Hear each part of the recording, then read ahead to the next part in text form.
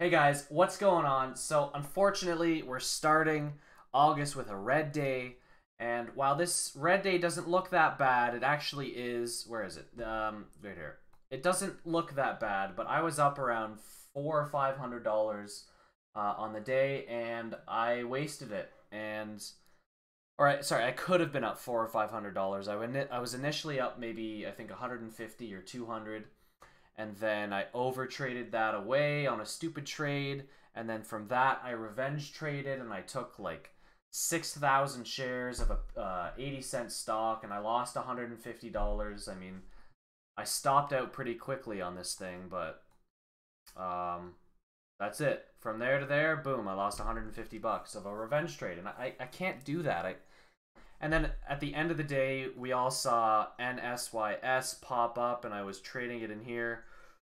Uh, pretty I was pretty smart with this trading and uh, I locked up an extra $200 so if I had kept that initial 150 and added to the profit rather than remove the profit down to $150 loss um, down here on SNES you can see here just briefly um, so I, I had a good trade in here to start and then I didn't take my profit and then I sold it on the way back down and then I, I wiped out the profit by chasing it because I didn't follow my initial target. I was I was buying here at the very bottom as the volume was coming in for the break of the highs of 142. So I can't remember how many shares of this I had, like probably 3,000 or something. We'll go over it in the video just quickly. Um, and that would have been 10 plus cents, maybe 13 cents, 12 cents. So like $330 or something. So that plus NSYS, I could have been up 500 US or 700, 650 Canadian. So I don't know what it is. I've been in this rut since since this. Like I, I'm not trading smart. I'm like letting my emotions get to me. I, I'm really not in the zone. I'm thinking too much about profits. I'm I'm trying to chase the dragon, if you will, from these days and just like the immense profits that I've I've had before. So I go on these sprees where I make a lot of money. So I'm focusing too much on the money.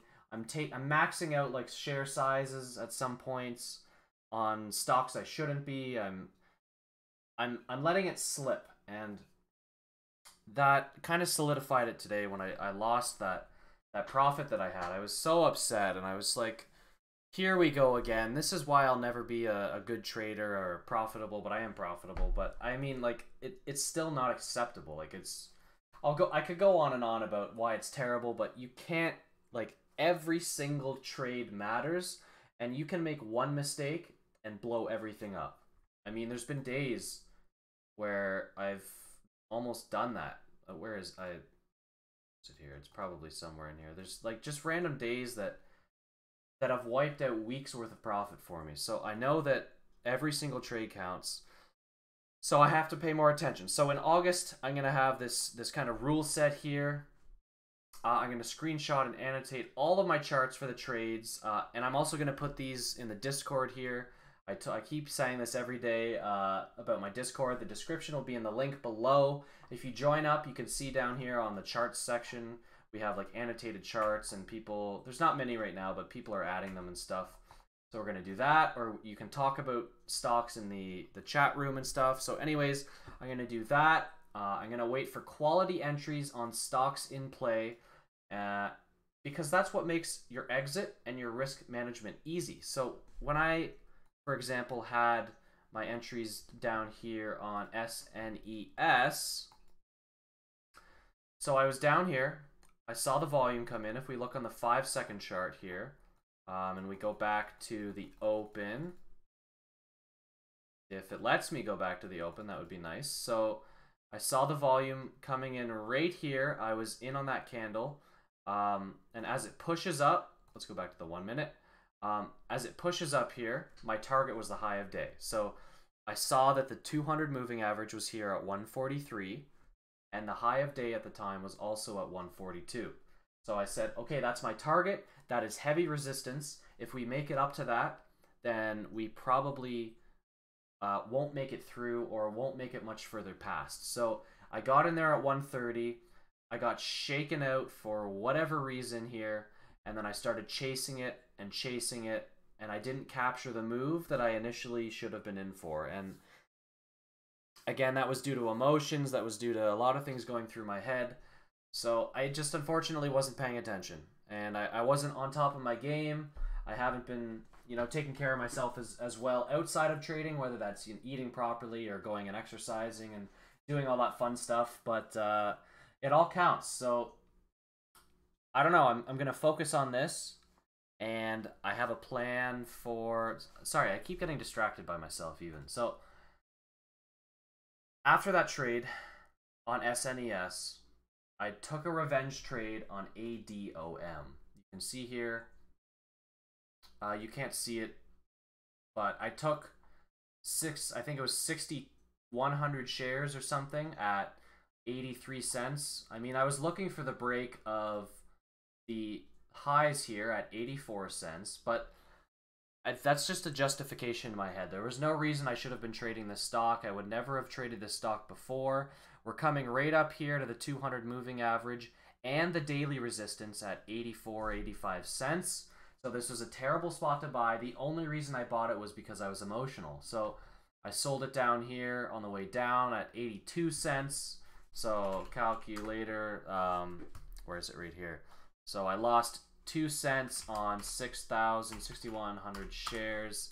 I lost around, yeah, that's about right, uh, around 120, 130 dollars plus commissions. I think commissions. What are commissions here? Yeah, like I'm just I'm trading like an idiot, and I have to figure it out. So today's video isn't going to be as useful, but it's more like I said of a an update and kind of the struggle of what it's like to go through some of these emotions as a day trader. So everyone talks about charts, everyone talks about patterns, everyone shows, well, not everyone shows live trades, but a lot of people show live trades, but it's really trading is is 90 95% psychology. So if you don't have a, a master on your emotions and on your um like you, you don't have a plan and you're not following it and it's it's like an unemotional thing, then you will make stupid decisions and you'll wonder what you're doing wrong. You'll wonder why you can't win. You'll wonder why you're not profitable. So I'm starting to really, really slip with that. So I came up with all of these rules for August.